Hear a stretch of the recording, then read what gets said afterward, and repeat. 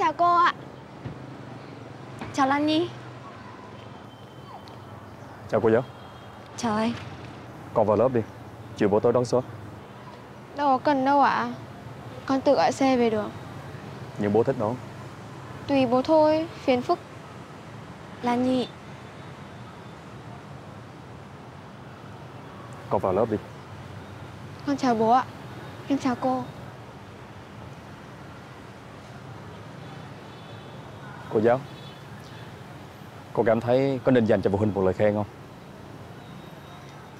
Để thực hiện việc này Tôi tốn nhiều tâm sức lắm đó Anh nói như thế Tôi lại tưởng con bé là con của tôi đấy Tôi cũng mong tìm cho con bé một người mẹ như cô đó Mà anh nói Người phản ứng dữ dội nhất là vợ tay Việt à Những người khác thì sao ạ? Vợ cậu Việt là phản ứng dữ dội nhất. Hôm đó, hai gia đình hẹn nhau đi ăn. Nên gia đình cậu Tuấn, người yêu của cái Dương, cũng bị bất ngờ.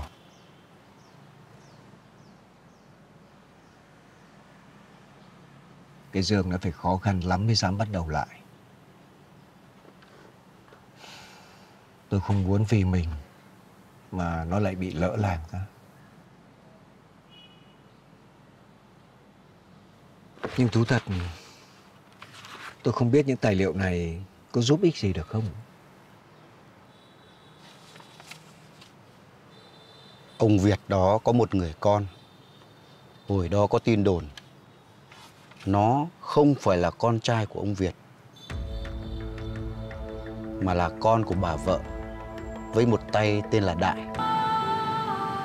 Thực ra bây giờ Trong lòng em có rất nhiều điều bối rối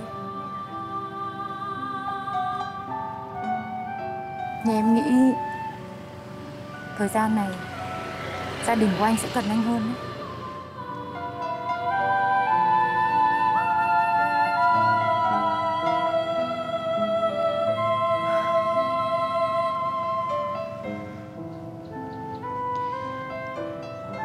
Em hiểu tấm lòng của anh Nhưng tạm thời,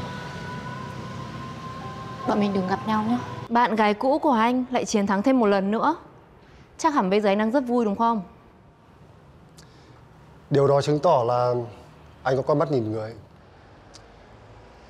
Mà anh đoán là em cũng góp tay đúng không? Xưa nay em vẫn luôn là một con người sòng phẳng mà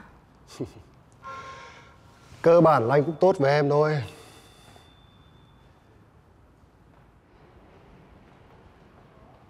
Anh lợi dụng em thì có Anh nói là anh muốn đưa đón em Nhưng mà thực chất anh sang bên kia Với mục đích khác mà Như thế không thể gọi là lợi dụng được. Thế nào mới gọi là lợi dụng? Từ xưa đến nay anh với em vốn giao tiếp với nhau một cách đó mà. Việc gì phải khó chịu đấy. Anh định nối lại tình xưa đúng không?